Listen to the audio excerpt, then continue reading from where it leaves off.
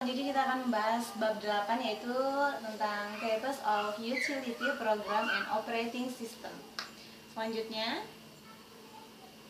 objective first overview define system software and identify the two types of system software. Describe the function of operating system. Ini sama ya dan selanjutnya sistem software. Apa sih pengertian dari sistem software? System software consists of the program that control or maintain the operation of the computer and its device seperti operating system, utility program, dan operating system. Apa sih pengertian dari OS atau operating system? Is a set of program containing instructions that work together to coordinate all the activities among computer hardware resources seperti start and shut down a computer, provider a use interface, manage program, manage memory, coordinate text, configure device, stable internet connection, monitor performance, provider utility, uh, automatically update, control in network, administer security. Dan selanjutnya, ini ada gambar dari operating system fungsional. Bisa dilihat ya. Dan selanjutnya adalah the process of starting or restarting a computer is called booting seperti call boot, turning on computer that has been power, warm boot seperti ini. Oke. Okay. Dan bagaimana sebuah visi boot itu bekerja? Ini bisa kita lihat dari step yang pertama, step kedua, ketiga, dan selanjutnya about drive. Apa sih pengertian dari about drive? About drive is the drive from which your computer start ya. Seperti you can boot from about disk seperti discovery disk contain a few system file that will start the computer. Dan selanjutnya ada an operating system include various shutdown option, sleep mode save, any open, document, hibernate save. Dan selanjutnya uh, user interface. Apa sih pengertian dari user interface? Adalah control how you enter data and instruction and how information is displayed on the screen ya. Seperti ini contohnya. Bisa dilihat. Dan selanjutnya uh, with a command line interface, a user user uses the keyboard to enter data and interaction seperti ini? Command prompt seperti ini command enter by user seperti ini. Dan selanjutnya ada how an operating system handle program directory after you productivity seperti single user and multi user ada single tasking and multitasking ada Proveron and background ada primitive multitasking ada multiprocessing dan selanjutnya ini gambar dari operating system fungsional. Ada fungsional program ada program button. Dan selanjutnya ada memory management yaitu optimize the use of RAM. Virtual memory is a version of storage medium fungsional and ending RAM.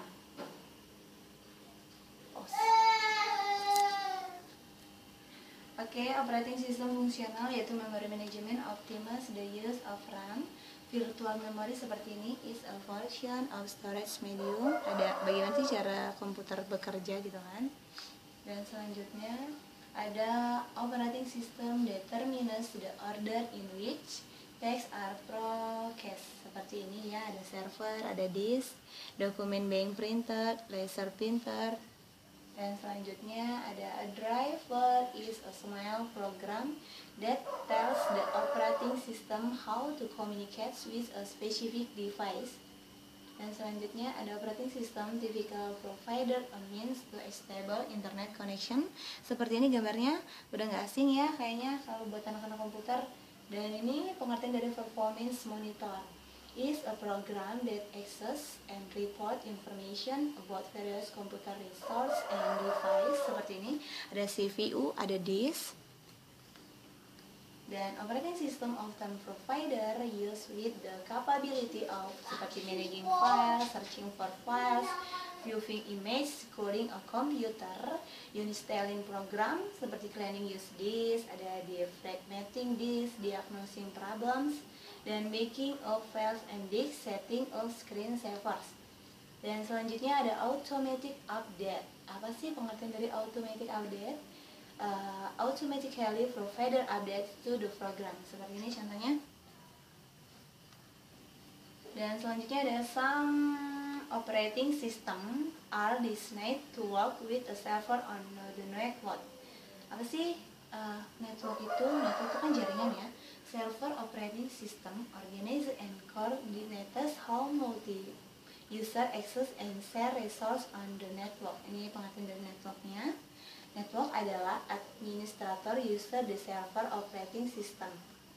Dan selanjutnya ini ada username bagi bagiannya ada user ID ada identity specific user and passwordnya seperti ini. Gambar-gambarnya. Ini, ini adalah kategori of operating system. Eh, bagian-bagian uh, dari operating system seperti itu. Ada standalone ada server embedded dan standalone operating system. Apa sih pengertian dari standalone operating system? Is a complete operating system that work on a desktop computer notebook computer or mobile computing device seperti Windows 7, MacOS, Unix, Linux. Dan ada juga nih kalau di Windows 7 itu adalah Microsoft fastest most efficient operating system to data and is available in multiple edition. Seperti Windows 7 Star, Windows 7 Home Premium, Windows 7 Ultimate, Windows 7 Professional. Dan selanjutnya ada Windows 7 providers program sus as seperti Windows Firewall, Windows DVD Maker, Desktop, Gadget, ini nih gambarnya. Bisa dilihat ya. Dan uh, selanjutnya ada additional Windows 7 feature feature fitur-fitur dari additional Windows 7 seperti ini ada reliability and performance, ada security environment and management, ada communication and the internet. Dan apa sih pengertian dari Macintosh operating system? Has set the standard for operating system is of use seperti ini ya. Bagi bisa dilihat gambarnya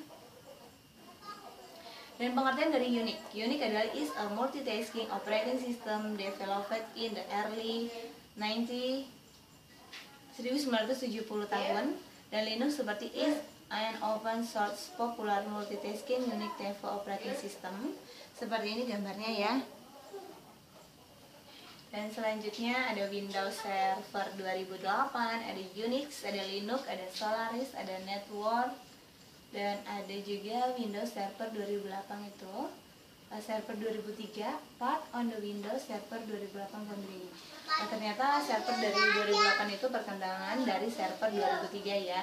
Dan selanjutnya ada juga Embedded Operating System Pengertiannya adalah resides on a room chips on a mobile device or consumer electronic device seperti Windows Embedded CE, Windows Phone 7, Palm OS, iPhone OS, BlackBerry, Google Android, Embedded Linux, dan Symbian OS. Nah ini contoh-contohnya ya dari yang tadi saya sebutkan. Ada juga utility program. Apa sih pengertian dari utility program? Uh, mereka adalah is a type of system software that allow a use to perform maintenance type text. Seperti ini ya sistem tool command ada utility for making files utility for reforming dan lain-lain. File manager adalah is a utility that performance functional related to file management. Seperti ini gambarnya ada displaying list of files organizing Uh, dan apa sih pengertian dari search utility? Search itu adalah is a program that attempts to locate file on your computer based on criteria your specific. Seperti ini ya contoh search searchnya di sini. Dan pengertian dari image viewer allow user to display, copy, and print the content of the graphic file. Seperti ini ya. Dan ini juga bisa dilihat sendiri ada this kind of utility search for a removal carry file seperti ini. Dan pengertian dari this defragmenter adalah reorganize the file and usage space on computer hard disk so that the operating system access data more quickly and program run faster. Seperti ini ya gambarnya.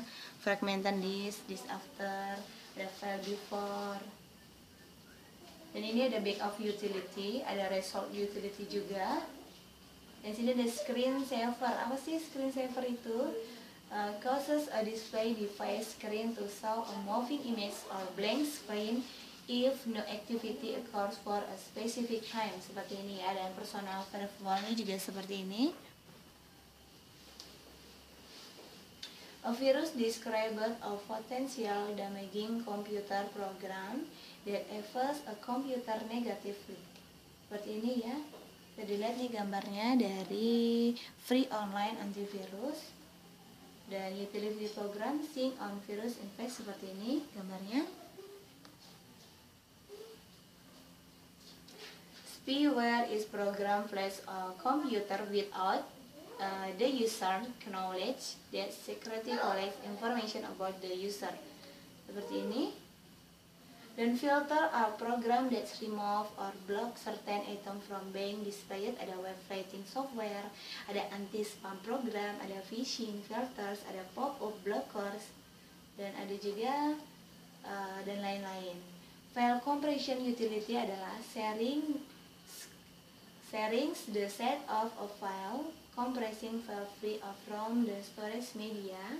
Dan di sini ada dua tipe. Yang pertama lossy ada losses dan selanjutnya pengertian dari media players. Ini bisa dilihat gambarnya ya. Pengertiannya adalah allows you to view image and animation listen to audio and watch video files on your computer. Dan selanjutnya this burning software. Nah ini biasanya untuk tugas kita sekarang ini ya harus di seperti ini kan di burning written text, graphic, audio, and video files and record table or table optical disk.